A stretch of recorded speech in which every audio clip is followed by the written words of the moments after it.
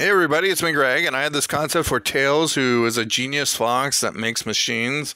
What if you were to do a 2D platformer with, you know, like a machine that Tails created, and there's like five different machines that you can imp- you can uh, send out there to destroy Eggman or something like that. It would be cool, I would think. Bye.